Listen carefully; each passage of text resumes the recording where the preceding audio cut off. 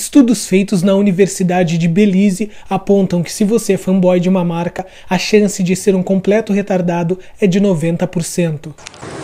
Eu estou sentindo uma treta!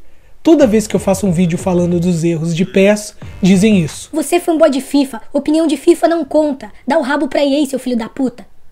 E toda vez que eu falo dos erros de FIFA, Tá na cara que tu é fanboy de PES. Só assim mesmo pra defender esse jogo lixo. A Konami faliu mesmo, não adianta defender. E geralmente quem opina, quem opina dessa forma, se ofendeu porque é um fanboy. Não seja fanboy de nada. Sério, se tu gosta de alguma coisa, tenta ser racional. Tipo, eu frequento vários grupos de PES e a galera ama o jogo, mas eles metem o pau na Konami, cobrando licenças, servidores, atualização. Enfim, é esse o tipo de fã que eu vejo como mais consciente. Mas tem aquele outro tipo, o fanático, que leva toda toda a crítica pro lado pessoal. Geralmente a idolatria, ela te cega, ela te faz criar muitas expectativas, ela te impede de ver os defeitos. E só quem ganha são as marcas.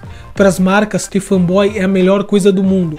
Eles podem lançar um jogo épico ou uma grande porcaria, não importa, tu vai comprar. Quando a pessoa é fanboy de uma banda, não sabe aceitar críticas, são capazes de brigar literalmente por ela. Isso serve para política, futebol e videogames. Enfim, para finalizar o vídeo, se tu quiser criticar algo, faça com educação, mostrando os equívocos. Quando eu falei aqui de alguns erros de português do nosso inscrito, ele me agradeceu pelo e-mail. E cara, corrigir alguém não é crime. E se tu se ofendeu, eu só lamento. Sempre que me corrigem eu fico feliz, porque eu não vou mais errar no futuro. E velho, escrever certo é para sua vida toda, na escola, no ENEM, na sua vida profissional. E infelizmente é uma pena que quando a gente corrige a pessoa pro próprio bem dela, pagamos de chato. Chato pra caralho.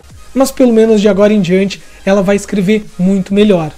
É tipo tu devolver o troco que recebeu a mais do mercado e a caixa te mandar a merda porque tu implicitamente chamou ela de burra. Esse foi o vídeo de hoje. Eu fui.